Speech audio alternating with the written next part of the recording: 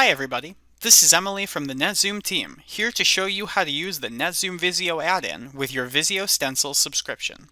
For years, NetZoom users have enjoyed using NetZoom's comprehensive shape library to diagram their data center equipment in Microsoft Visio, now, users can interchangeably choose to use their NetZoom Visio Stencil subscription in the NetZoom Visio add-in to easily search Visio stencils they have added to their library. The NetZoom Visio add-in is a powerful tool that enables seamless and convenient integration of NetZoom's equipment library with Microsoft Visio, so you can save time developing high-quality diagrams.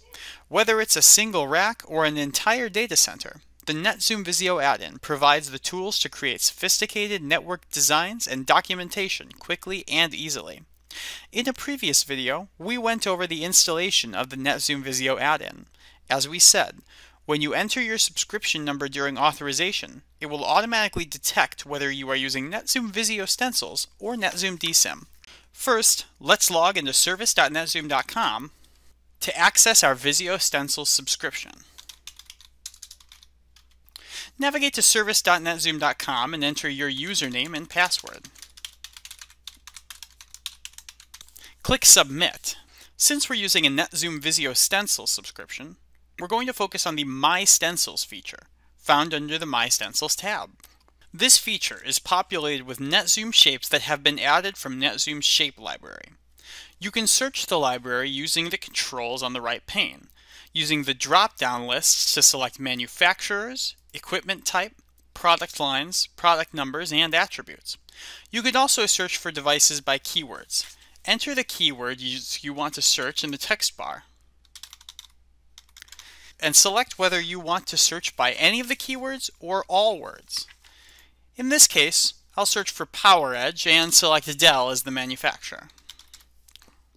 When you're finished, click the Search button to search for device shapes. As you can see, the middle pane will display the results from your search. By selecting a device, you can also see the properties and preview of the device. To add a device to your shape library, click and drag it to the library pane. Any shapes added to this pane can be downloaded by selecting them and clicking the download button, either VSSX or VSS if appropriate. Any shapes added to this pane will also be automatically populated in the NetZoom Visio add-in. Let's load up the add-in now and take a look at it.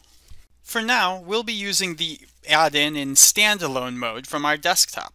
However, we can also use this add-in in integrated mode and open it directly from Microsoft Visio. Double-click the add-in to open it.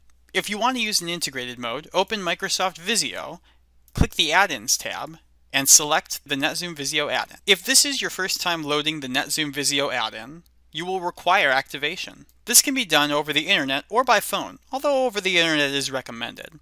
Fill out the form presented by the product activation pane, including your subscription. Click the Activate button when finished. Now you're ready to use the NetZoom Visio add-in. As you can see, the Visio add-in will load, and a search pane similar to the search pane found in service.netzoom.com will appear. Using the same controls as we saw there, we can search any state stencils we've added to our stencil library. Enter the information and click the search button. As you can see, results will appear in the Results tab. As you can see, when you select a device shape, you're also able to view the properties of a shape or a 2D or 3D preview using these tabs at the bottom. The Related tab is a convenient feature for finding shapes related to the current selection. When a shape is selected in the Results tab, if there are any related shapes, the Related tab will appear. When the Related tab is selected, the user can view and use these related shapes. For instance, when you are doing a card chassis configuration, you can select the chassis shape and see which cards are compatible with that chassis, and vice versa. To use your NetZoom shapes in Visio, first select the shape you want to use in Visio. Then, you can elect the position of the connection points that are added to the shape using the Connection Points drop-down box. The default connection points are recommended to ensure that devices snap together properly, and port-level connection points are created. Finally, drag and drop the desired shape from your results pane into your Microsoft Visio page. Before you can build the rest of your diagram, you should learn some basics about the shapes themselves. NetZoom shapes are embedded with various properties and specifications. They include model numbers and product dimensions, just to name a few. You can view these properties by right-clicking on the shape and using Microsoft Visio's data slash shape data command to view the properties. NetZoom shapes also have built-in connection points that match data ports and power ports and equipment slots. These true-to-life shapes let users connect equipment and configure racks and chassis-based equipment just like they would the actual network. So for example, using this device, we can see that both of these ports on the front of the device have a connection point. For example, we've got two racks here and this rack-mounted device that's not placed on the rack. Using NetZoom's connection points, we can take this device and put it on its proper place on the rack. As you can see, the shapes will automatically snap to connection points, in this case rack units, allowing you to diagram your devices as if they were installed on a rack. You can also make connections between devices using the connector tool. As you can see, each port on your device has a connection point. By making a connection between two ports using the connector tool, you can model the connectivity between your devices. NetZoom has over 500,000 shapes from 5,500 manufacturers. But if you're looking for a shape that we do not already have in our library, you can request it directly from the NetZoom Visio add-in. Click on the search pane and click the Request New Shapes button. As you can see, the Request Shapes form will appear.